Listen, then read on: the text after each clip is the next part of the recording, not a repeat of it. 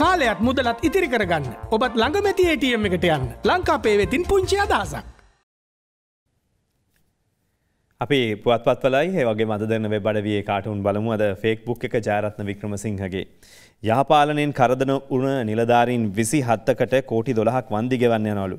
ඒවා ගෙවන්නේ අම්ම අපගේ බූදලෙන් වෙන්න ඇති කියලයි තිවයින කාටුනෙන්න්න කියන්නේ. නඩුත් දාලා ඊට පස්සේ වන්දිත් ගෙවනවලු. ශ්‍රීකාන්තක දූපත. මගේ තරුපටි ගලවන්න බෑ කියලා ෆොන්සේ එක කියනව බං.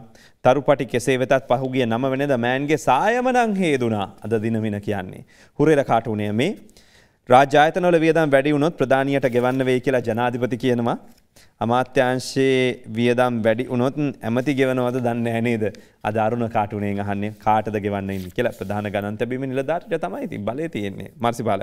දේශපාලන පක්ෂ එකතු පමණින් රට ගොඩ ගන්න බැරිලු. ඕ බෑ. හැබැයි යාලට ගොඩ යන්න පුළුවන්නේ අද මර්සිපාලගේ උත්තරේ. දැන් අංජනගේ කාටුන් එක. IMF පස්සෙන් යන ද්‍රෝහීන් මුහුදට දාන්න ඕන කියලා වාසු කියනවා. එහෙනම් ඉතින් වාසු විතරක් ඉතුරුවේ වෙන කවුරුත් නැතුව අද දිනමින කියන්නේ. මේ ස්වාරිස් දාස හපුවලානගේ ඔන්න නිමල් සිරිපාල ඇමතුම ඇවිල්ලා. සර් මේ පාරත් ඉල්ල ලස්සනවද ඔන්න ස්වාරිස් සහනවා ඒ මොකටද බංගේ ඇමතුමානවා අර චෝදනාව අල්ලස් කොමිසමට ගිහිල්ලන්න ඊට පස්සේ තයිසි සමාගම කතාවට මොනවවෙයිද දන්න මේ ස්වාරිස් කියන්නේ. හසන්ත විජයනායක කියන්නේ අපි වැටිලා ඉන්න වෙලාවේ එක කකුලක් අපේ කිඹුල කෑවා තෙල් පෝලිම කියන කිඹුල අනිත් එක තෙල් මිල කියන කිඹුලා ඇදගෙන හිටිය ති මේ වෙලාවේ කංච නැමතිතුමා දුන්න ඊතලේ අරගෙන ගිල්ලා කිව්වාර් කෝඩ් එක කියන හිය තියලා තෙල් පෝලිම් කියන කිඹුලව නම් මරලා දැම්මලු.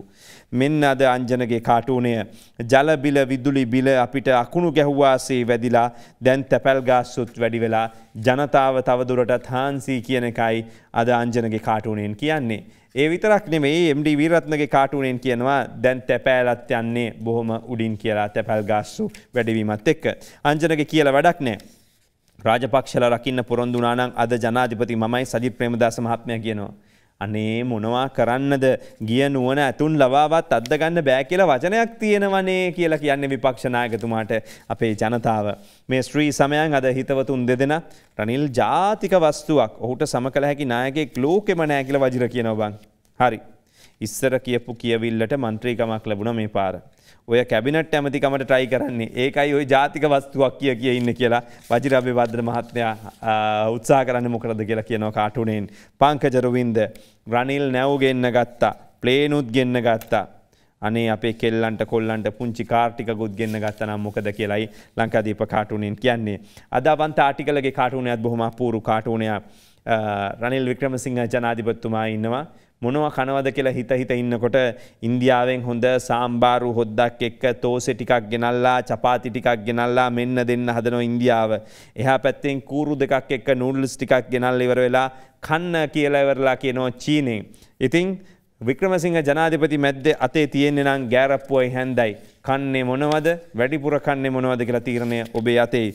දාසගේ කාටුනේ කියන්නේ අට ගහන්න පුරුදු වෙන්නේ වික්‍රමසිංහ ජනාධිපතිතුමා දැන් මෙහෙමයි කියලා ඇමරිකා වටෙන් ඇවිල්ලි ඉවර වෙලා චීනෙ පැත්තෙන් ගිහිල්ලා ලස්සනට අටගා ගහ ඉන්නවලු දාස කියන විදිහට. මේ අතර ජාරත්න වික්‍රමසිංහනන් කියන්නේ වැලයේ වැටලා ඉන්න ලංකාව සාටකය කියන තොන්ඩුව දාලා ටැක්ටර එක බැඳලා ඉන්නවා. හොරු ටිකක් කියලායි කියන්නේ ඒ ඉන්න කට්ටිය. නම් ට්‍රැක්ටරේ ඒලෝගෙන යන්න දීලා තියෙන්නේ ජනාධිපත්තුමාටලු. මොනවා වෙයිද? ගෙනී අයිද අදීද කියලා තමයි මේ අහන්නේ. ජනරාණි අද අධිතාක්ෂණික චීන යුවන් වැං 5 නෞකාව හම්බන්තොට ඇවිල්ලලු. ඒවා වැඩක් නෑ රාණි කියන එහෙනම් හාල් ගෙනත්ද හාල් ගෙනත්ද කියලා බලන්න කියලා මේ වෙලාව කියන්නේ. අද දෙරන වෙබ්බවා කාටුනේ ලස්සනයි. දැන් ඉතින් ගෙවින්දුලා රතන හාමුදුරුවලා එතනොට විමල් වීරවංශලා වාසුලා දැන් මේ දවස්සල චීන නැවත් එක්ක ගිහිල්ලා ඉන්නේ අද වරායටලු සෙල්පියක් ගහලා ව්‍යයට හම්බන්තට පෝට් කියල ගහලා නැවේ සෙල්පියක් ගල මේ මාව කියල තමයි කියන්න අද දවසේ තිස්ස ඒවා විසගෙන වැස්ස. වාසි තැනට පනිනා බඩ තඩි ගෙම්බෝ පැනවිස දුමට ඉබි ගමනින් යන ඉබ්බෝ. ජරාවකා සමහරු ලොව නම තිබ්බෝ සිරිලක පමණි ඉන්නේ මේ වගේ කබ්බෝ කියලා අද ලංකාදිපය කටුනෙන් කියනවා.